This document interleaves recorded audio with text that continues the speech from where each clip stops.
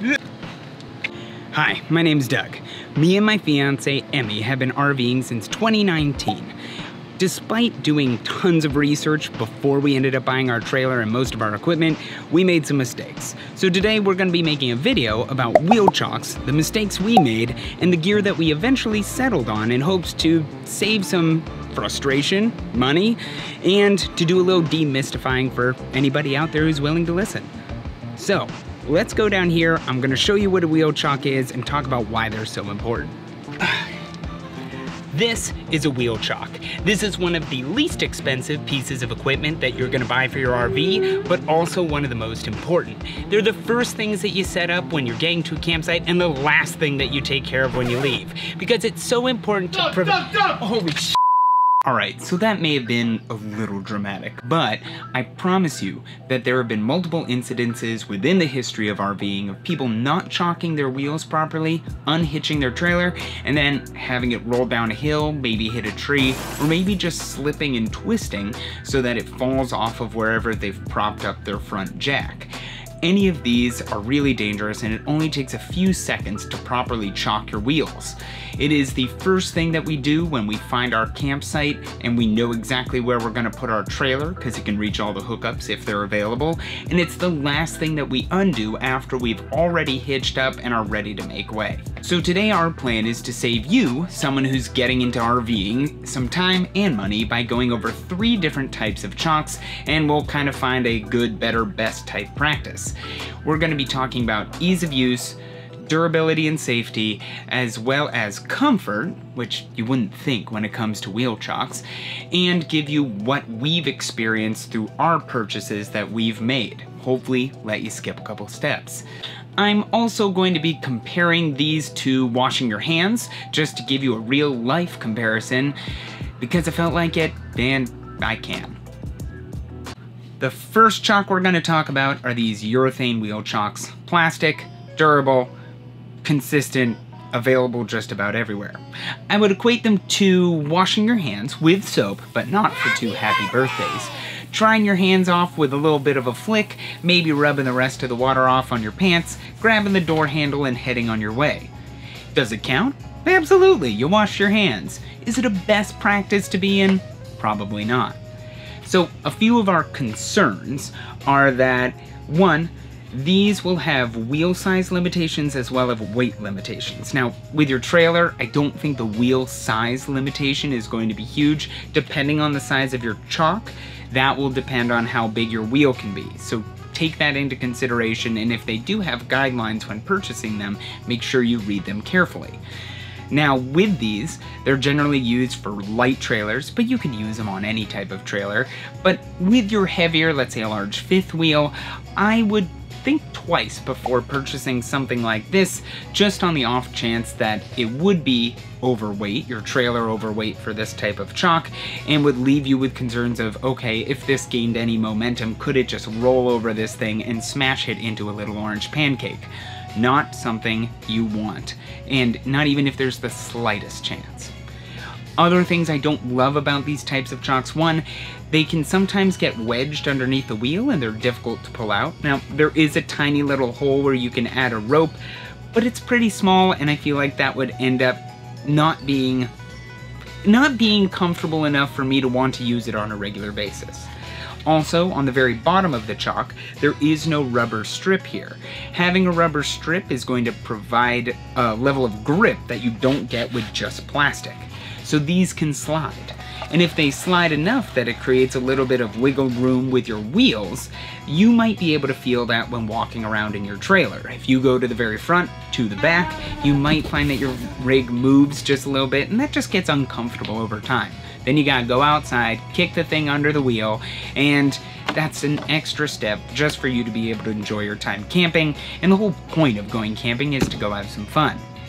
Overall, these get a rating of good. They're good because you can get them just about anywhere. They're going to do the job for the most part. Maybe not to be trusted with heavy rigs or maybe on a steep slope, but for 99% of situations, they're perfectly fine. The next type of chock that I want to talk about are these giant honkin' rubber wheel chocks that we've purchased to replace our urethane chocks. Now I would equate these to a very solid hand washing. You start with the warm water, use plenty of soap, lather up and sing happy birthday to yourself twice with a smile. At the end, you dry your hands thoroughly, grab the door handle, and go about your merry way. These are solid. Few things that we like about them. One, I like that they have a bit of height to them. They aren't going to be limited by wheel size, although our trailer wheels are not gigantic by any means. They have a really great handle, so when it comes to ease of use, they're very easy to place and remove. Three, They've got a great rubber bottom, and this prevents any slippage when you're moving around your rig. They aren't going to create a big gap between the chock and the wheel, so you're not going to get as much rocking back and forth when going from the front of your rig towards the back. Overall, I don't really have many complaints. They did kind of smell funny when they came from Amazon. These came in a two pack, and that would be one small concern, but that went away after just a couple of days.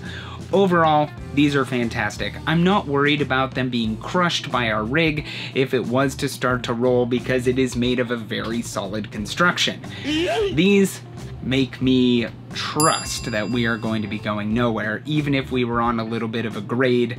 And you know what, when it comes to safety, these were maybe 15 bucks for a two pack. Spending an extra couple of dollars for that kind of peace of mind is totally worth it to us. One other downside of these that I really didn't talk about with the urethane chock is they are a bit bulkier, so they are going to take up a little bit more storage space, but it's not a drastic difference. It's not like there's, like, it takes up three times as much space. Instead, it just will be a little bit more bulky when you're putting it inside of your rig. And if you're limited on external storage like we are in our Airstream, that may be a slight concern, but again, Peace of mind, people. Let's purchase that and feel good about where we park our rig. The final rating for these suckers is better.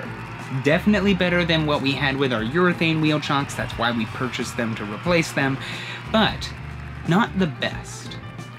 I'm gonna just bother you for one second. If you find that this information is useful, you can make a huge difference by hitting the like button right down below where I am on this video.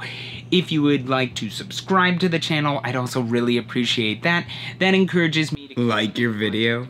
I mean, it was kind of helpful, but dislike.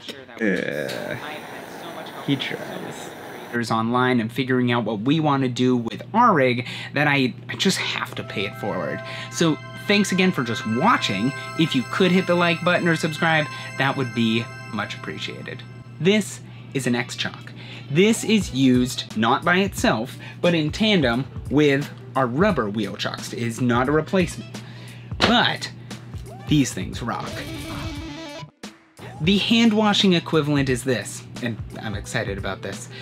You step up to the sink and you find the perfect temperature of water.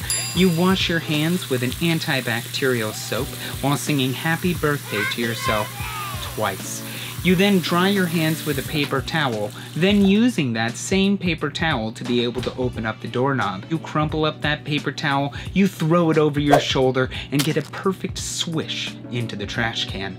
You then take out a small thing of hand sanitizer that is gently scented, spray some into your hands, rub your hands together and think, man, my hands are clean. So, Things to know about these X-Chocks. One, they are a little bit more on the expensive side. That is a downside. They only work with trailers that have more than one axle. So we're a dual axle trailer. We place this in between our two sets of wheels, and then you crank it with a little ratcheting wrench that comes with the X-Chocks to be able to expand them and put pressure on both wheels to ensure that they're not going to roll. Now, we love these things. We love them because they instill us with more confidence that we're not going to be moving anywhere. And when it comes to comfort, there is zero wiggle room inside this trailer when these are fully deployed. We have one on each side of our rig, and I love them. If you're looking for the ultimate in comfort, something that's going to add just a little bit of an edge to be able to make you happier inside your rig when you're parked and camping, this is one of them. Now, downside. Downside is they can't be used by themselves. So this is not a replacement. So not only are you going to have to purchase rubber wheel chocks or the urethane ones if that's what you choose to do, but this is an added purchase. They're also not super cheap. So when you're budgeting, if you have the option to add these on at the beginning, or maybe you have been camping for a while and you're thinking of making some kind of upgrade to make yourself happier inside of your trailer, these would be a great purchase. I hope this has been helpful, at least going over some of the different types of wheeled chocks so you know what you're getting yourself into if you're new to RVing or if you're just looking to make an upgrade. If you're looking for any of these types of chocks, they're all available on Amazon. I'll provide links in the description below just so you can go find them and take a look, see what you think.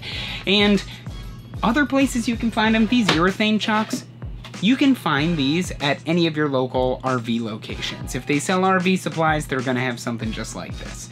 I also found a bunch of sets of urethane chocks at Walmart. We have an RV section at our Walmart because we're in Florida and we have tons of RVs who come down during the winter, but you can also find them in the automotive section as well. All sorts of different shapes, sizes, colors, you name it. Rubber chocks. These we purchased on Amazon because they were the ones that we thought looked the best and we trusted and had a really solid handle so it's easy to take them in and out.